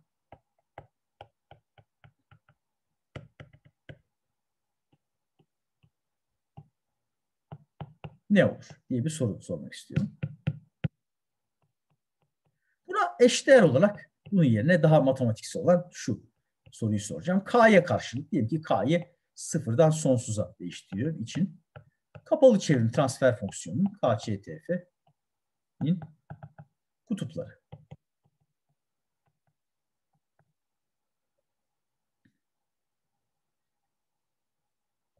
Ne olur? Böyle bir şey soruyorum. Kapalı çevrim transfer fonksiyonu hatırlayacak olursanız şu yani sistem tek başınayken değil de böyle sisteme bir kontrolcü ekledim ve böyle bir işte referansla fark alarak hatayı oluşturdum ve bu şekilde böyle bir kontrol sistemi oluşturduğum zaman elde ettiğim bileşke sisteme kapalı çevrim sistemi diyordum. Bunun transfer fonksiyonundan kastım. Burası artık sisteme verdiğim giriş referans. Değil mi? Sistemden aldığım çıkışta yine y olmuş oluyor. Yani ben artık doğrudan sistemin girişini vermiyorum. Onu kontrolcüye bıraktım.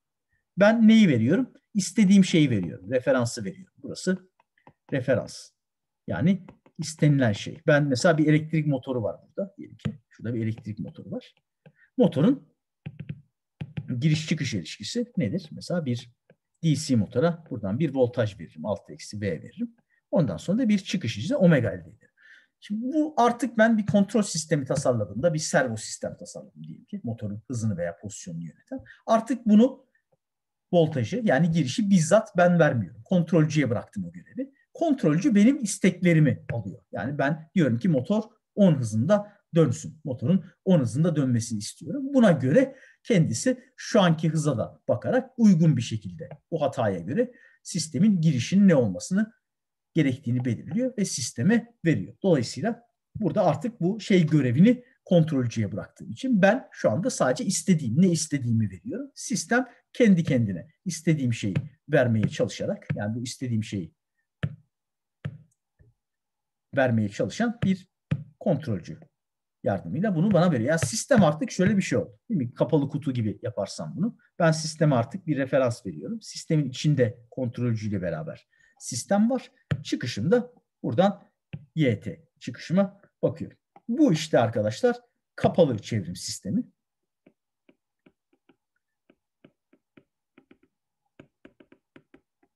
Bunun transfer fonksiyonu da kapalı çevrim transfer fonksiyonu. Yani çıkışı bölü girişi. Ki o da referans oluyor. Değil mi? Artık ben referans veriyorum. Y'yi alıyorum. Dolayısıyla bunun çıkışı bölü girişte benim kapalı çevrim transfer fonksiyonu olmuş oluyor. Kapalı çevrim transfer fonksiyonu kutupları yani sistemi çünkü böyle çalıştıracağım ve bunun ne yapacağını, nasıl davranacağını da bu kapalı çevrim sisteminin nasıl davranacağını da ana hatlarıyla bunun kutupları belirliyor. Yani şu transfer fonksiyonunun kutupları belirliyor. Dolayısıyla ben bu kazancı diyelim ki sıfırdan sonsuza doğru arttırdım. Bu reel ve imajiner eksende Mesela bu sistemin şu e, kapalı çevrim sisteminin kutuplarını çizecek olsam mesela bu kutuplar nerelerde olur? Nasıl bir hareket yapar? Bunu gösteren grafiksel araca biz kökgen eğrisi demiştik. Değil mi? Böyle bir grafiksel araç çizebiliyorduk. Bunu L301 derslerimizde görmüştük. Bunun bir yönü de oluyordu. Ve bu yönlere göre mesela buradaki harekete göre bir takım yorumlarda bulunuyordu. Mesela sistem diyorduk ki e, düşük e, şeyler için değil mi? Düşük K değerleri için bütün kutuplar böyle sol taraftayken K değeri böyle artmaya başladığında mesela bir noktada sistem sağ tarafa geçiyor. Yani kutuplardan iki tanesi sağda oluyor. Dolayısıyla sistem kararsız oluyor. İşte belli bir yerden sonra kutuplar imajiner olduğu için sistem salınım yapmaya başlıyor. Bu gibi yorumlarda bulunabiliyordu kök gereğlisi yardımıyla. Değil mi? Peki bu şekli şimdi MATLAB'da nasıl çizdiririz? Biraz bundan bahsetmek istiyorum ama ne zaman gelecek dersimizde bu konudan bahsetmek istiyorum. Peki şimdi e, bu dersimiz için burada durabiliriz. Gelecek dersimizde buradan devam edelim.